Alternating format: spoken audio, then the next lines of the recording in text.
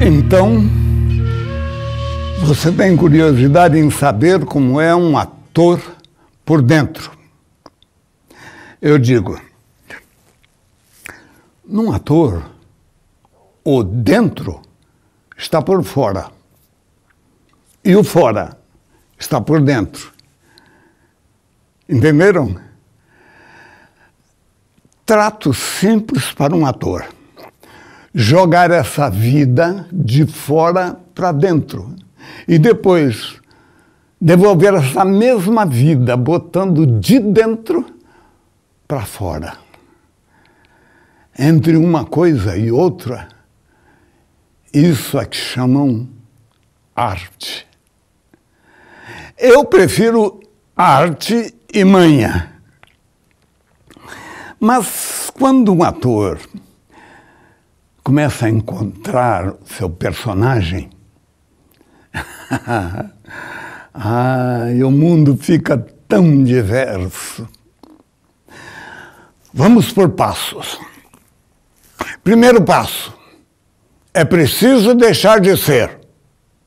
Isso mesmo, deixar de ser, desaparecer, se espiantar diante de si e dos outros, tornar-se invisível Trocando em miúdos, é preciso ser nada.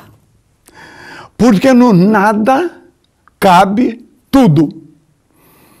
Se você já está lotado de tantas ideias, emoções, conceitos, opiniões, escolhas, detalhes, não, isso dentro não cabe mais nada. É preciso abrir espaço no nosso eu interior para aquele que virá. E aquele que virá, o personagem, esse não será maior e nem menor do que você. Ele terá o seu exato tamanho. Fácil, não? Alguém pode pensar que um ator veste um personagem como quem veste um terno. Alguns são assim, alguns. Não, mas não é assim. Isso não é a arte de representar. Temos que ir aos poucos, com cautela, vendo através da mente ainda nublada os primeiros tratos de sentimentos e gestos do personagem. Daí começa a surgir uma linhazinha mais forte, marcada, com uma espécie de foco que vamos buscando cada vez com maior nitidez. São formas que dançam à nossa frente, desordenadas, uma orgia de jeitos, facetas disparatadas.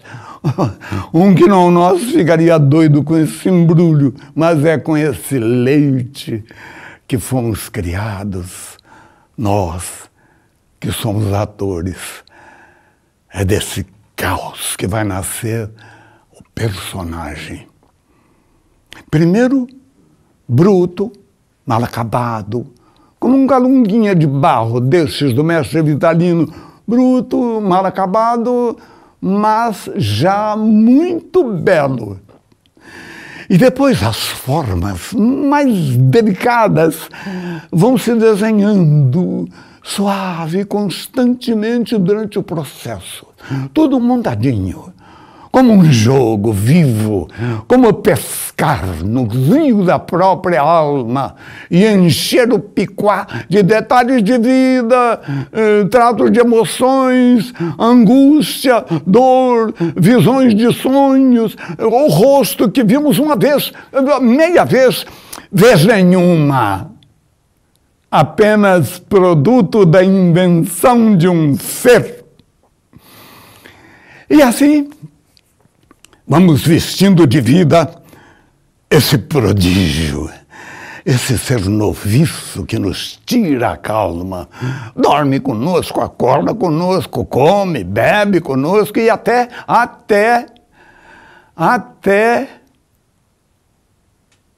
ama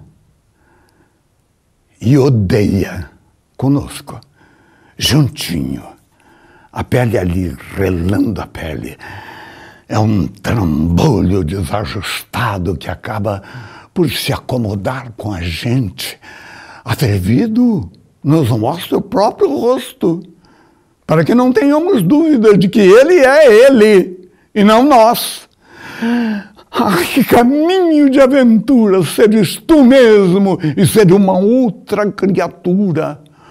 Ah, que loucura! Chorar, rir por ti mesmo e por esse estranho que lentamente tiraste da vida e do sonho para a realidade da arte. Juro, Salvador, isso só o ator pode sentir. Bom, chega um momento em que tudo fica como que pronto. O personagem domina vem à tona como um monstro abissal, reinventando a realidade. És tu quem o soltas. Vai, mais alto, mais alto. Não, mais, mais, mais, mais para cá, mais baixo. Como um cavaleiro num rodeio mortal. Ah, aí já não vives mais para ti mesmo, senão para ele. Acorda cedo para ele, dormes tarde para ele, recebes abraços, flores, cumprimentos, mas são para ele. Você, ator, é apenas o humano intermediário.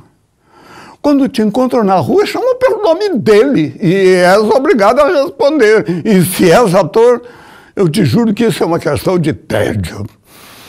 Às vezes a gente pergunta, mas por que, que eles não separam o criador da criatura?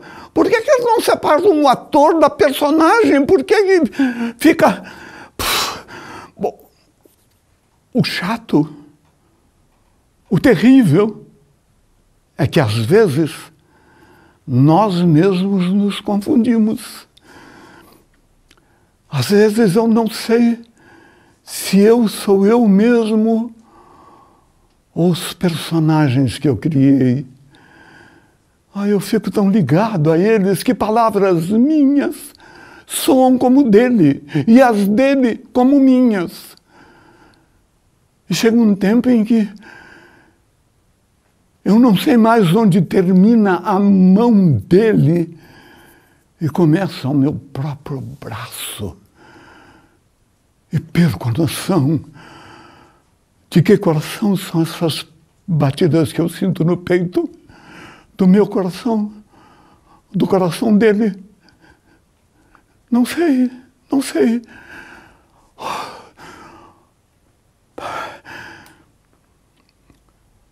Aí